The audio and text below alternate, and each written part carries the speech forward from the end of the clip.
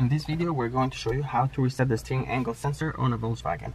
So if you disconnect the battery, if you have to work on an electrical system and you have to disconnect the negative, or if you replace the battery, or if you replace the steering angle sensor itself, located here behind the steering wheel, um, you will need to carry out steering angle sensor reset or calibration. So there's an easy way to reset the steering angle sensor on a Volkswagen and this works in most of the cases. If it doesn't, then you'll need a scanner that can carry out um, steering angle sensor calibration and reset. But we're gonna show you how to do it without a scanner. Like I said, this will work in most of the cases.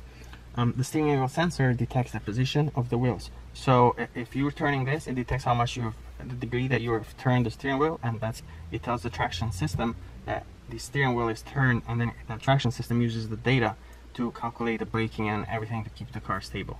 So you'll see we'll have the traction control light on because we disconnected the battery. We'll show you how to reset it.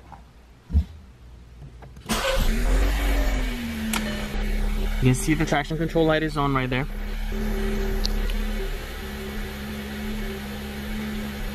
So you'll start the car and you will turn the steering wheel all the way to the left and all the way to the right. And we'll do it twice.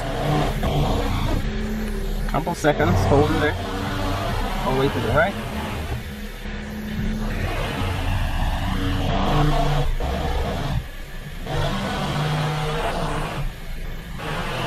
and back on center.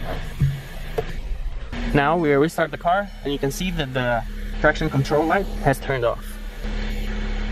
So this will work in most of the cases. In some, some cases it might not and you might need to carry out calibration with a scanner that can perform um, Volkswagen steering angle reset and calibration. Thank you for watching.